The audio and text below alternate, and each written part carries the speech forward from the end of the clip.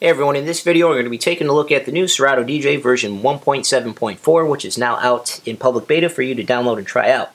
1.7.4 brings a couple good new features to Serato DJ and those are Beat Jump and the Buffer King Easter Egg feature uh, which is not Easter egg anymore, it's a full feature. Uh, also, 1.7.4 brings club kit support for various mixers. Uh, this club kit is an expansion pack add-on that will cost 169 US dollars. And this will give you DVS support and a Serato DJ license for the Pioneer DJM Nexus, the 850, and the Allen and Heath Xone DB2 and DB4 mixers as well. So this is a good way to get into Serato DJ if you don't currently have any Serato DJ hardware or mixers. You know, if you already own a bunch of Serato DJ uh, controllers or mixers, $169 might seem kind of steep. But if you've never used Serato DJ before, you have no previous uh, Serato DJ or Scratch Live hardware, I guess it's fairly cheap to be able to get into Serato DJ with DVS functionality and a full license as well.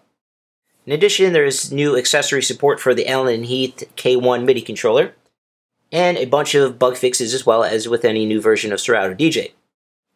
So let's get into the two big new features in 1.7.4, and that is the beat jump functionality and the I guess it is now called EQ colored waveforms and not the Buffer King. I first recommend you go look back at my video I've done on the Buffer King, uh, understand how it works and what it does. Basically, it changes the EQ, the color of the waveform depending on how you have the EQ knobs on your mixer or controller set. Uh, it's a really good functionality feature as well. It's a good way to visualize how the track sounds, I guess is the best way to put it. Uh, but we'll take a look at that later. Let's look at Beat Jump first. So, uh, in the setup menu on the DJ Preferences tab, you're going to want to check this box, Show Beat Jump Controls. Now, that is going to add another row of numbers basically right here.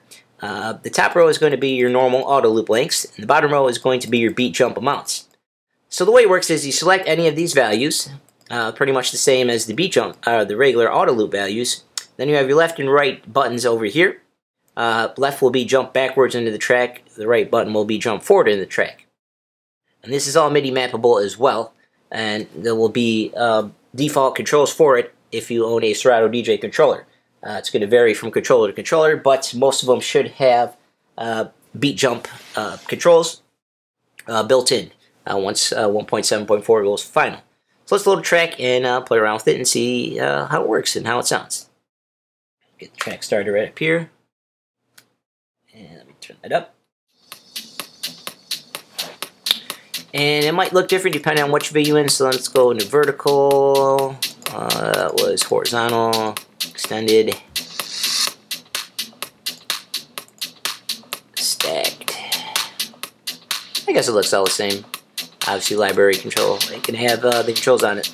Uh, let's stick with horizontal.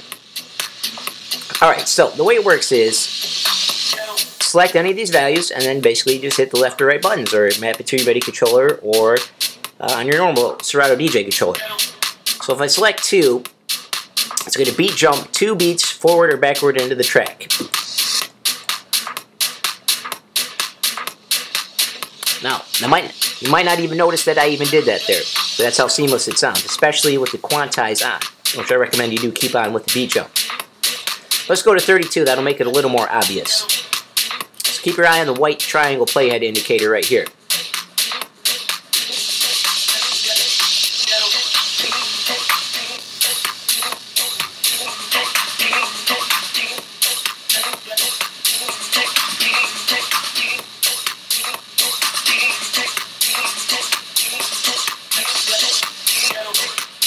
You can see there, it's a lot of fun to play around with, jump around in the track. It's a good way to uh, kind of remix on the fly, especially once you start looping sections, and uh, especially if you want to get real crazy with four decks all synced up and loops going and all of them. Uh, it's a lot of fun to play around with. I ain't going to get that crazy into it, but um, it's a lot of fun.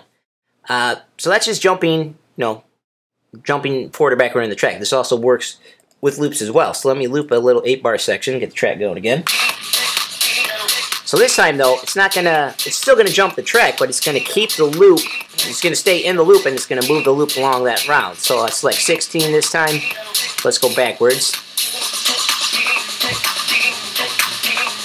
So you can see it's, uh, you know, shifting the loop and the playhead 16 beats.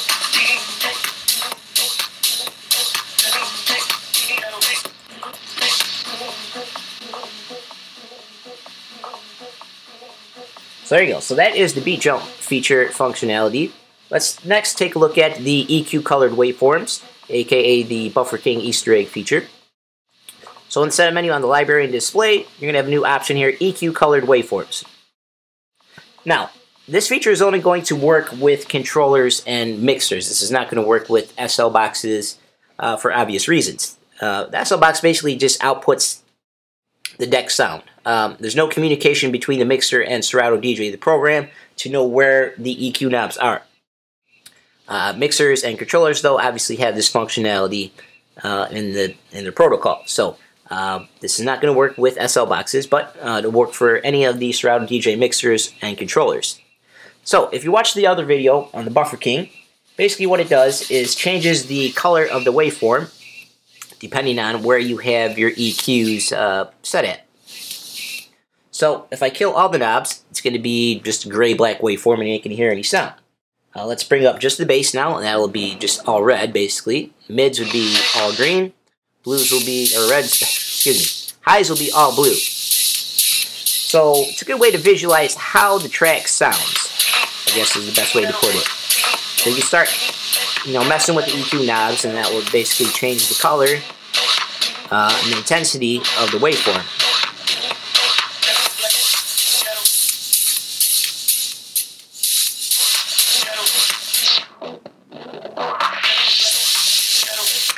So that is the EQ colored waveforms, aka Buffer King Easter egg feature, which is not Easter egg anymore. And thank God, because that damn stupid Morse code trying to activate it was a pain in the ass. So, that's uh, pretty much it for 1.7.4.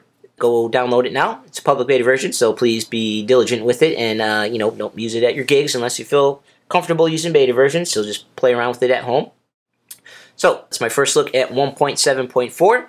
New features Beat Jump, EQ colored waveforms, Club Kit support uh, for a few mixers, and a lot of bug fixes as well with any version uh, release of Serato DJ. So go ahead and download it now. Try it out.